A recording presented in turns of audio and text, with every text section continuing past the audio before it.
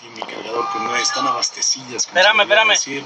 Están asaltando a una señorita. La bala arriba, lo que, está cortado el cartucho, lo cual las hace aún más peligrosas. Algunas de ellas no tienen ni siquiera seguro por el modelo que tienen. Entonces, creo que, creo que hay que analizar las cosas con calma. Esto no es un asunto que se resuelva del viernes al día de hoy.